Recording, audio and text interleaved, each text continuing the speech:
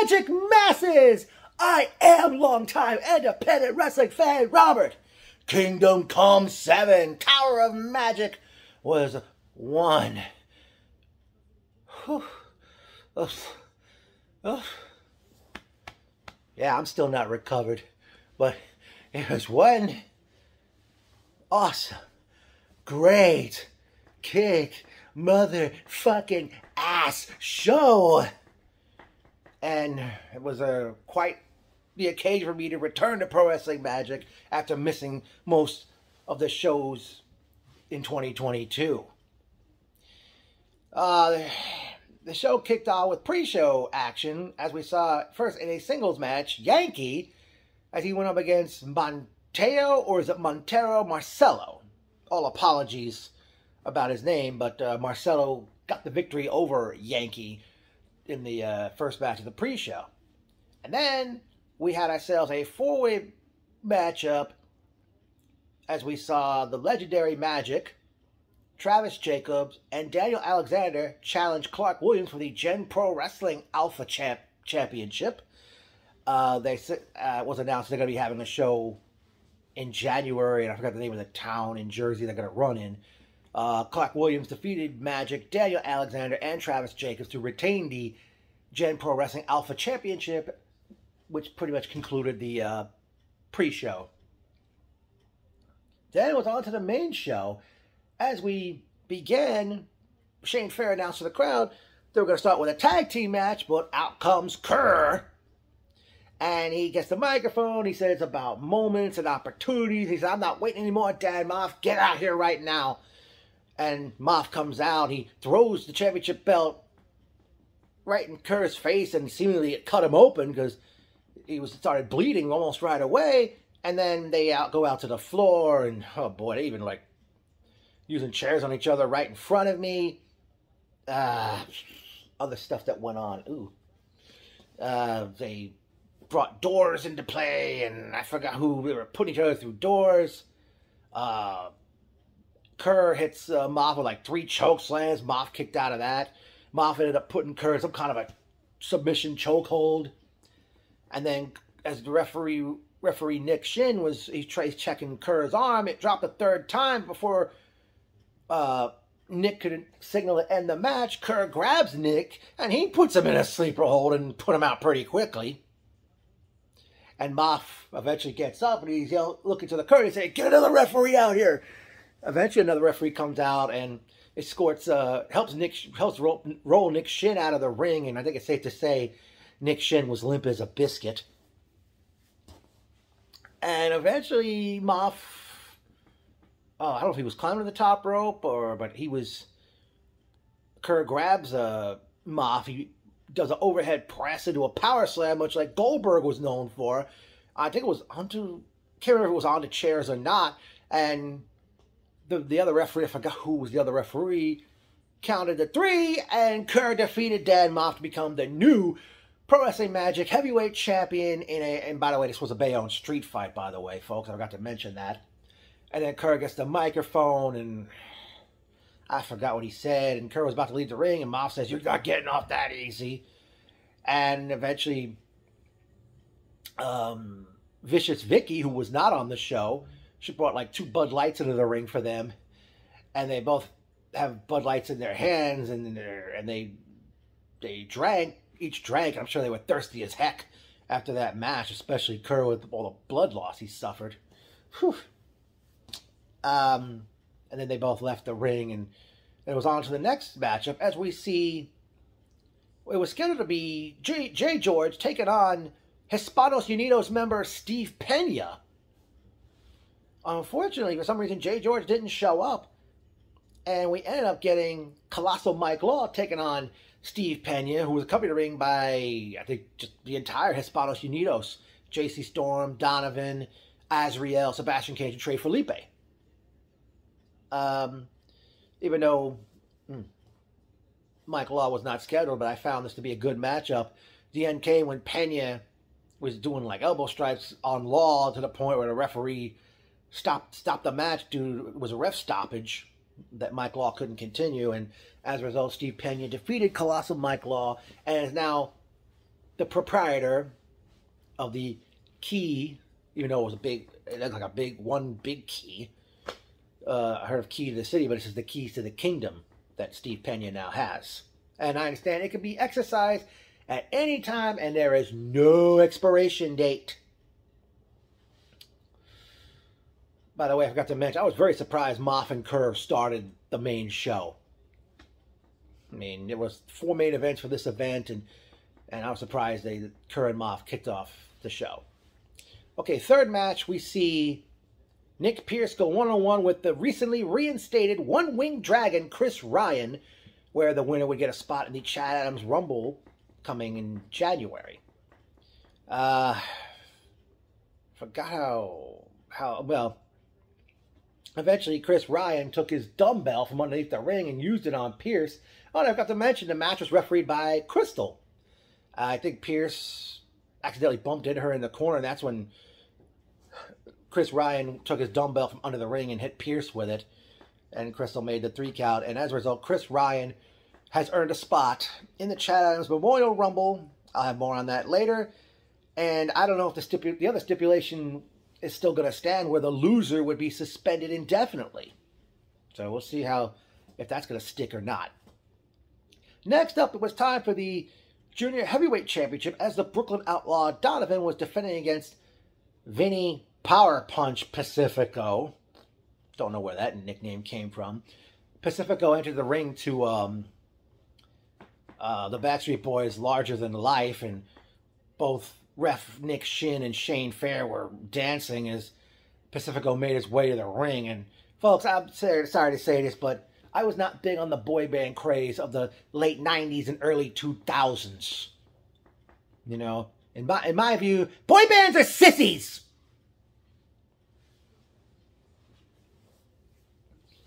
Uh, this, by the way, this was a last man standing match where Pacifico loses, he'll have to leave Pro Wrestling Magic, and Donovan would get five minutes alone with commentator Jimmy Riot. Now, these guys, oh boy, this was such a mad, another chaotic match as you'd expect. I mean, they went into the crowd, like portions of the audience had to get out of the way, clear clear the clear the way for both of them to go at it. Eventually, um, two doors were put were brought into play. They were set up on tables. Donovan brought this big, huge ladder. I think that was underneath the ring until it was brought brought in until Donovan grabbed it. Uh, wow. Hmm. Wow. Um, Donovan. I mean, there was many, many, many times both Donovan and Pacifico would get up at the count of eight or nine. Uh, the end came when they were they were, they were right near right near where I was sitting. But the ladder's set up, and they're both on the ladder, and they're. I mean, I, I feel for Nick Shin was even trying to hold the ladder steady so that nothing goes wrong and they don't both of them won't fall off and stuff. But eventually Pacifico, I've got he pushed or knocked Donovan off that ladder. He went crashing through one of the two doors that was set up on the chairs, and the ref Nick Shin made the counted to ten. Vinny Pacifico declared the winner of the new Pro Wrestling Magic Junior Heavyweight Champion, and commentator Jimmy Riot eventually came in the ring to celebrate with Pacifico on a great victory. Pacifico had an awesome 2022 in Pro Wrestling Magic. Whew. Man, oh man, oh man. Up next, it was time for the Tag Team Championship matchup as representing Hispanos Unidos the freshly Trey Felipe and the lit superstar Sebastian Cage defended the belts against John Tella and El Blanco Oso or El Oso Blanco Bruno. Not sure which way it goes. And they're collectively known as Death Row. Uh, Felipe and Cage actually attacked before the bell before the gong went off, and I forgot to mention something during the uh, Pacifico Donovan matchup, Donovan brought the gong into play, and I thought the gong was done for. I mean, it survived because I would have. I mean, you know, that's like one of the main things that sets Pro Wrestling Magic apart from other feds out there. Instead of ringing a bell, just like the song, bang a gong, get it on. good matchup by both teams. At one point, a great highlight: Felipe did a dive off the stage onto Bruno, who was in the crowd. Uh, man, Whew. um, I forget how it happened, but Death Row defeated Trey Felipe and Sebastian Cage to win the tag team championship. Great effort by both tag teams in this one. Next up, we scheduled to see Ruthless Lala of Prolific challenge Hispanos Unidos to JC Storm for the Women's Championship. Right before the match got underway, out comes the notorious Mimi, who is now back on the independent circuit after he, she was released. She was released from NXT, NXT earlier this year. I forgot what her name was over there. And it was a three way matchup, which saw uh, Ruthless Lala defeat Notorious Mimi and JC Storm to win the Pro Wrestling Magic Women's Championship. And Lala took the microphone after the match and. Uh, ah, I forgot what she was saying, but uh, I think Notorious Mimi, she got her hands on the woman's belt and she hit Lala with it. And I think, unless I'm wrong, Storm chased Mimi out of there, and Lala and Storm hugged after the matchup. Hmm. I mean, after, well, not after the match, but after Mimi got out of there. Up next, it was history in the making, as we saw it was going to be a try, the first, the finals of the tournament to crown the first ever Tri Wizards champions. As we saw, it was scheduled to be Isaiah Wolf, Marcus Mar- Marquise Marcus or Marcus Marquise, all apologies for getting his name wrong, and Tyree Taylor were set to take on the Takeover. But Prolific comes to the ring and they announced that the Takeover didn't show up.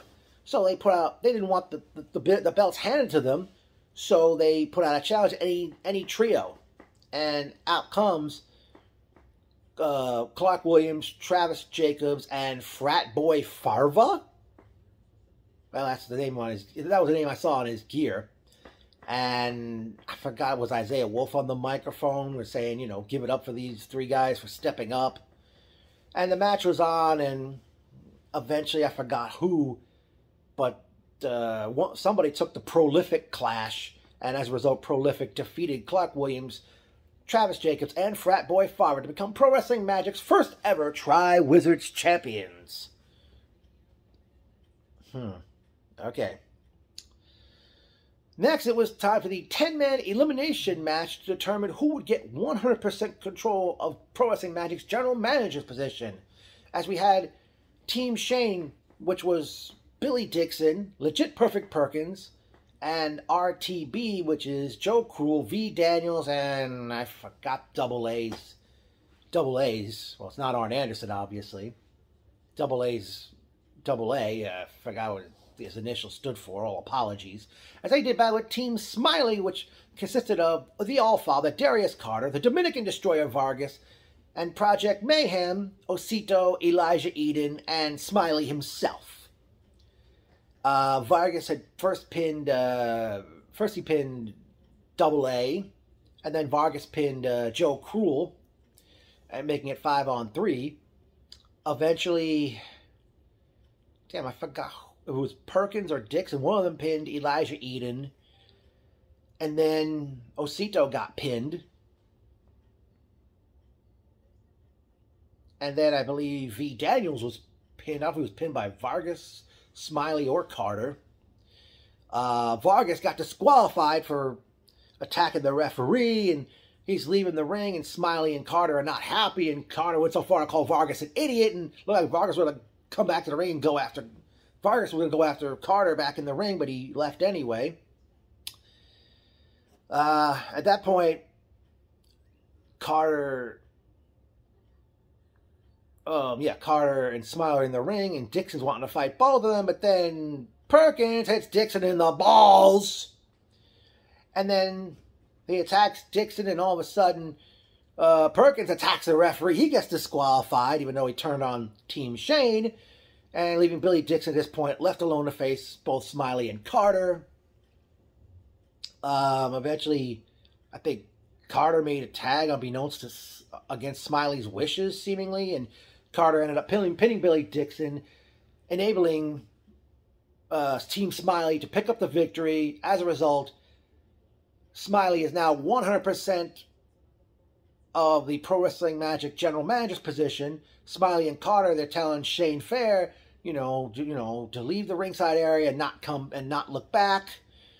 And it was, I wouldn't say it was a hush, but it, it got quiet after that because you know Shane Fair didn't ring announce the the remainder of the show. I mean, it's one thing to lose his fifty percent of the GM position, but I figured he would still ring announce the rest of the show. And uh, uh, they, I forgot it was Carter or Smiley. One of them broke, took the logo off the microphone, the Pro Magic logo off the microphone, and I remember uh, Crystal, a female referee, she came in and she picked up that microphone, brought it to the back, and I don't know who ring announced this next matchup. It was the Fast Pass. It was going to be a Fast Pass tag team match, but apparently Jay Bougie, who was going to team with Azrael, didn't show up. They were going to face the world famous Cheeseburger and the legendary Magic. Now, as mentioned earlier, Magic was added to the one of the pre-show matches, and as I said, Jay Bougie apparently didn't show up. So it was a one-on-one match with Hispanos Unidos member Azrael taking on the world famous Cheeseburger. Azrael had a Trey Felipe in his corner. And uh, I think Felipe like interfered twice in the match, and the second time Crystal gave him the thumb and showed, I wouldn't say literally showed him the curtain, but you get the point. Ejected him from ringside. But in the end, I forgot how, but uh, Azrael defeated Cheeseburger to win the match, and now the he gets a eventually get will be getting a shot at the junior heavyweight championship in the future. And then it was time for the big one. Well, not the big one, but one of the big ones. And not I'm. I, it doesn't surprise me they went on last. I mean, this all began at Kingdom Come Six last year, and it and it was a all those twists and turns, and or as the Beatles said, the long and winding road. As we saw the indestructible Steve Off challenged the Revolver Alex Ryman for the Dark Arts Championship in three stages of hell. And by the way, uh, commentator Jimmy Riot ring announced this final match. And, ooh. Hmm.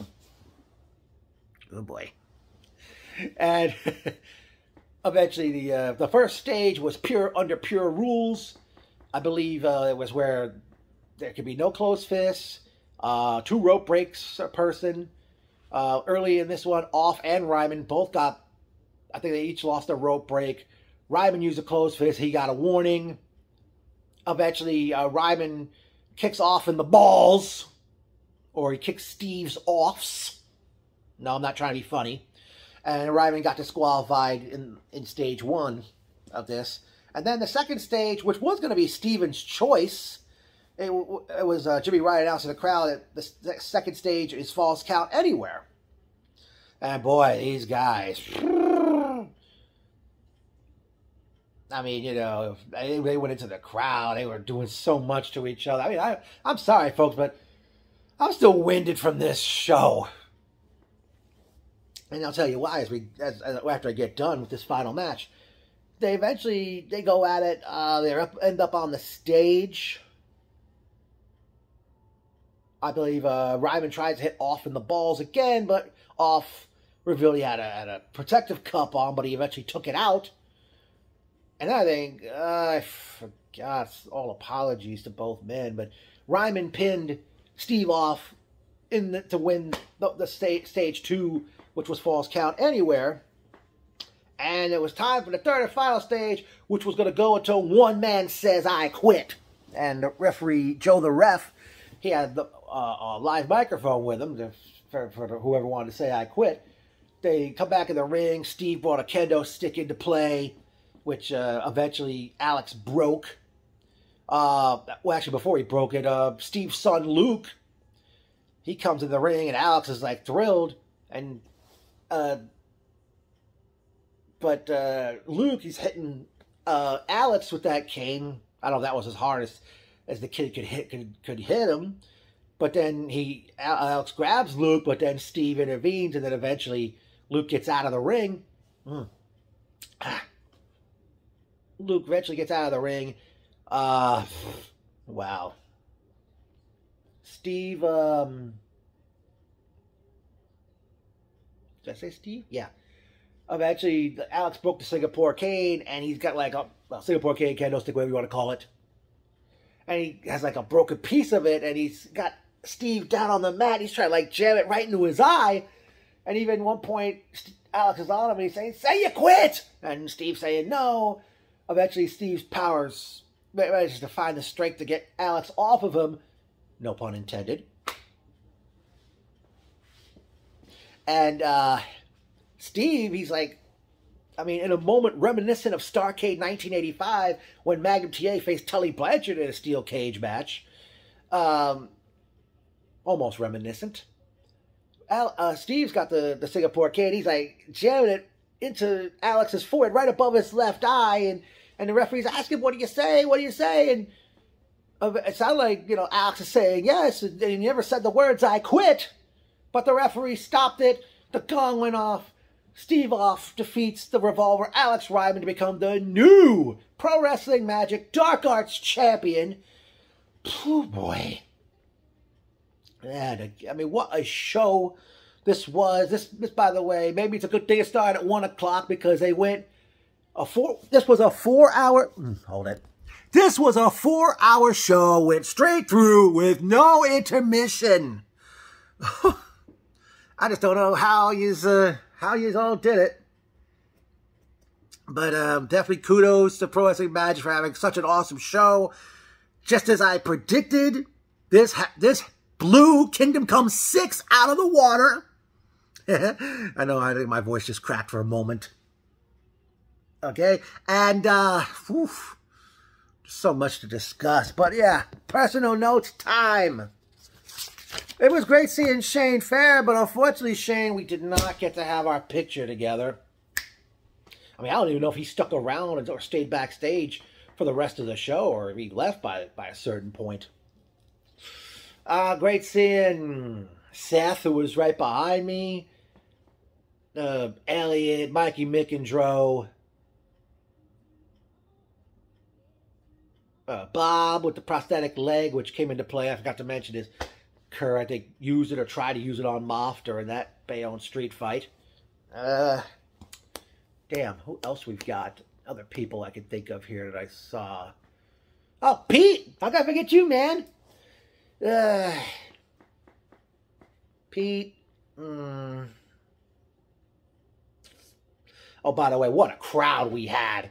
I mean, Seth, I believe you were wondering if I was going to use the megaphone or not. And that's, but I was like, you know, it depends on how the crowd size is. But I think just before, like, as the we were getting closer to the main show, that's when the crowd really started coming in. Oh, by the way, I, I mean, you know, we, I know how the drill is with independent wrestling, and most fans do that that they're never prompt with letting the crowd in. I mean, they said the door's to open at 12 noon. The door's open at 12, 13 p.m.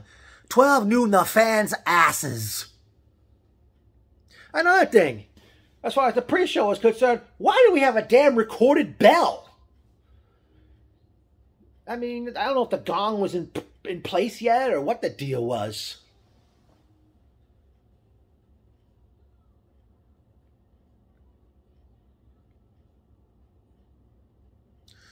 Oh, that guy, I think his name was Paul. He was uh, sitting behind me somewhere. He was dressed to the nines. I don't know if that blonde was, was his girlfriend or his wife, but at one point, uh, when both Ryman and Off were going at it on the stage, Ryman, I think he said to Paul, You did this. And the blonde, possibly Paul's wife or girlfriend, gives Paul two sights for the bird watchers for some reason. You know, I kept looking back at that blonde, but I know that's not the chick I used to have a crush on when when I was a teenager long ago. But, eh. But nonetheless, a lot of good-looking ladies in the crowd too. By the way, seems to be the buzz about about almost a lot of uh, shows I go to. Alrighty, uh.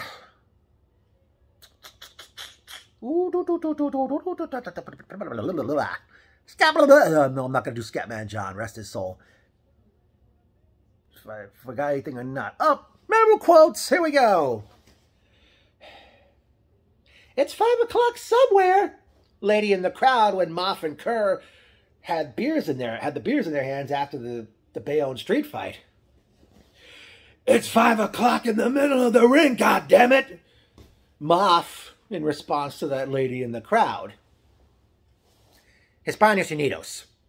Shane Fair, when uh, when he got out of the ring as quickly as possible, right after getting out of the ring as quickly as possible, when Sebastian Cage and Trey Felipe attacked Death Row before the gong went off.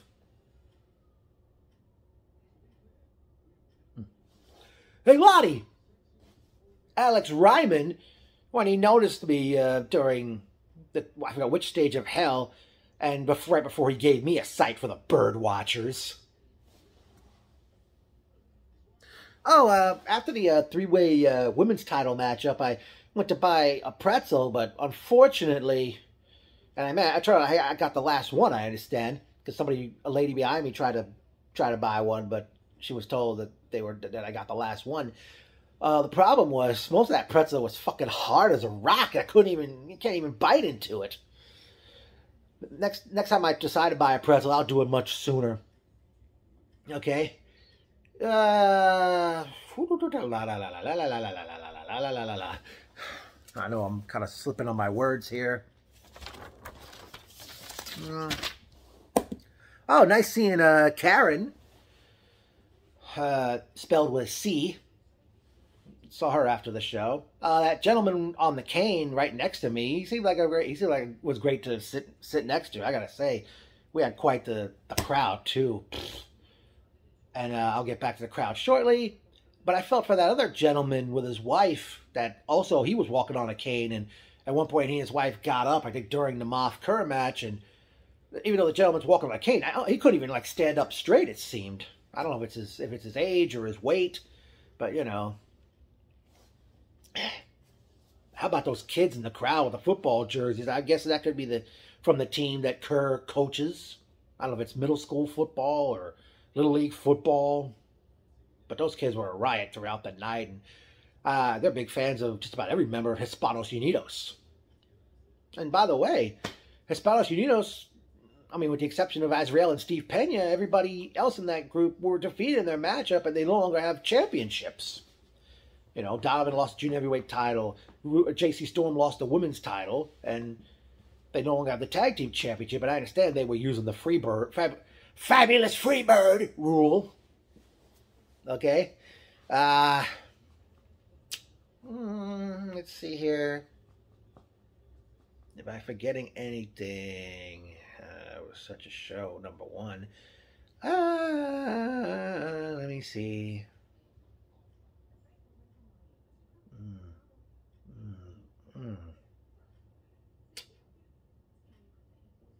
um, the new metal the new metal band that performed after the show. Oh, they were great. Maybe it'd be, it'd be cool to get them if they get they come to another sh- show to perform before before a show, after a show, or during a show, or even during an intermission, or have them do have them perform live as somebody's walking to the ring for their match. But I think now, okay, now's a great time to plug, oh, folks. Pro Wrestling Magic kicks off 2023 on Saturday night, January 28th. That night features the, I believe now the fifth Chad Adams Memorial Rumble, and of course, we only the only participant we know is in is the one-winged dragon, Chris Ryan. And by the way, the 2023 theme of the show titles is One Hit Wonders. Saturday night, January 28th. The show is titled My Own Worst Enemy. And uh, who knows if the show will live up to that show title. But based on everything that went down at Kingdom Come 7 Tower of Magic, I would like to see. Uh,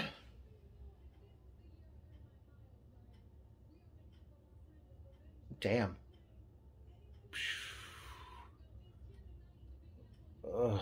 Well, I hope the the, well, the, the Chad Adams Rumble. I hope there'll be a lot of great surprises, surprise uh, appearances. That's what I hope to see. Because uh, I know they're going to need bodies, as we know. But, uh, damn, I really okay. I'd like to see the newly crowned junior heavyweight champion Vinny Power Punch Pacifico take on Hispanos Unidos member Azriel, who won the Fast Pass match over Cheeseburger. Uh, I'd like to see the newly crowned Dark Arts champion Steve Off. Uh, well, I'm sure he'll be defending his title. I don't know if it'll actually. Actually, I forgot to mention by virtue of the victory, well, not by the victory, but of that of the match stipulation, there's no rematch between those two ever. At least not as long as Steve Off is Dark Arts champion, I guess. And Steve Off's career was on the line, but he pretty much saved his career. And I forgot to mention, he took the microphone after the match, and his son Luke was in the ring with him. And Steve Off said, "I didn't do this for ego. I did this." And he said he did it for his son. And well, the promotion for well, I don't know. His son I mean, his son's only six, and Pro Wrestling Magic started back in 2015, which was seven, almost eight years ago. Uh, actually, no. I'd like to see the first crowned Tri Wizards champions prolific. Say, see three of them face any three members of Hispanos Unidos. Uh, but I don't know which three it would end up being. Uh, wow but yeah, so much went down. Almost every. Oh, know, look at that. The, the first Tri Wizards champions were crowned, and all the other championships changed hands. Hmm.